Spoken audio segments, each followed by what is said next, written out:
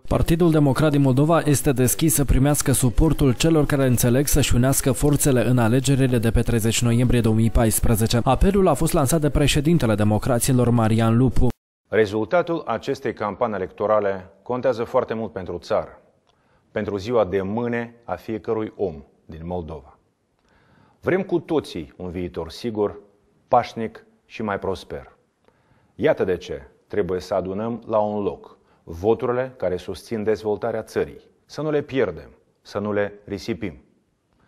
În caz contrar, este un foarte mare risc să câștige extremiștii de toate felurile, Apelul liderului PD, Marian Lupu, se adresează în special partidelor mai mici și are drept scop consolidarea clasei politice și scurtarea buletinului de vot, simplificarea alegerii pentru cetățeni în scrutinul parlamentar de pe 30 noiembrie 2014. Deocamdată nicio forță politică nu a reacționat la apelul lansat de PD.